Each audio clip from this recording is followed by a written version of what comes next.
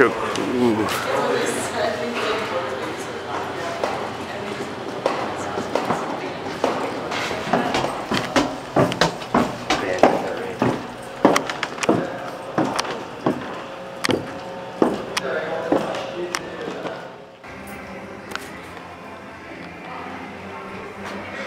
we have the fanciest dressing room in the world in Montreal.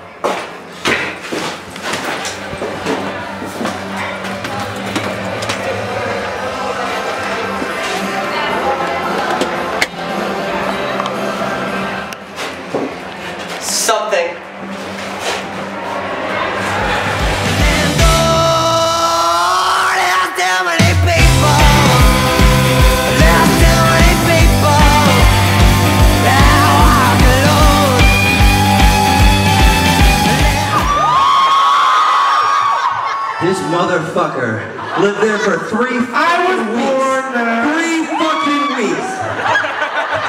I was born in Canada Day in Toronto. What's more Canadian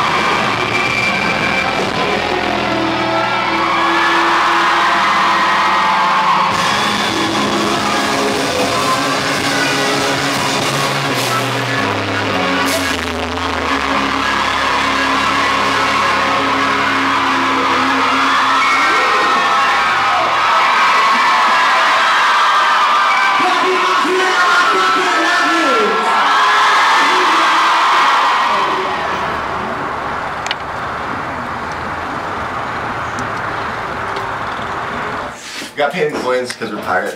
Yeah, I was gonna say, I, I, I was, I, I would think that you guys would get like your per diems. I'm gonna like, start asking like, for coins. like the You want the gold doubloons? like the venue people just show up and give you throw That sacks on your table. What's up, Debbie?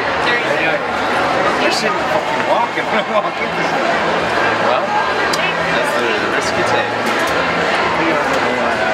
I focus on eyeglasses.